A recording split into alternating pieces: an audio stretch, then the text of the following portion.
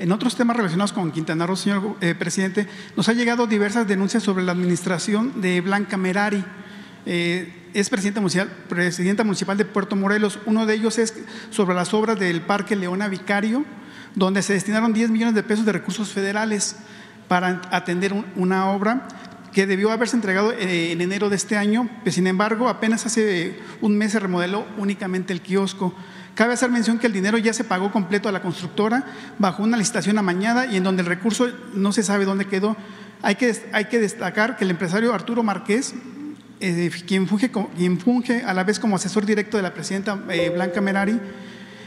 quien por cierto durante su breve estancia que lleva la presidenta ha viajado más veces que todos los funcionarios de Quintana Roo a Europa. La gente de Puerto Morelos está indignada por las diversas irregularidades que se están descubriendo en el ayuntamiento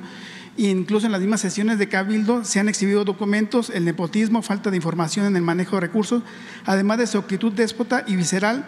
con que responde a las, mismas, sesiones de Cabildo. Hay incluso otra obra que se construyó a un costado del sindicato del municipio, es un tipo taller bodega que, para autos del municipio de Puerto Morelos, cuyo costo total fue de 7 millones de pesos, sin embargo, lo que se edificó es, un, es, un, es muy diferente a lo que se autorizó eh, por parte del Cabildo. Cuando se, cuando se licitó la obra, también hay millones de pesos ahí volando, ¿no?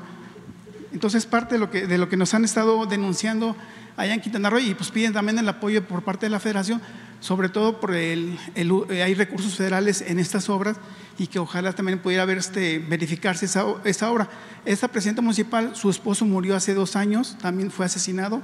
y ella quedó, ella se, eligió y quedó como presidenta municipal, pero también quisieran eh, que se pudiera aclarar pues el, este, el asesinato de su esposo porque se quedó este como que ya no, no hay interés por parte de nadie de resolver este tema ¿no? Del, bueno, lo que corresponde al gobierno federal,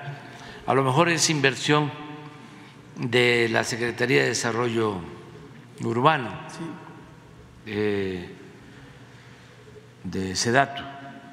Lo vamos a ver, eh,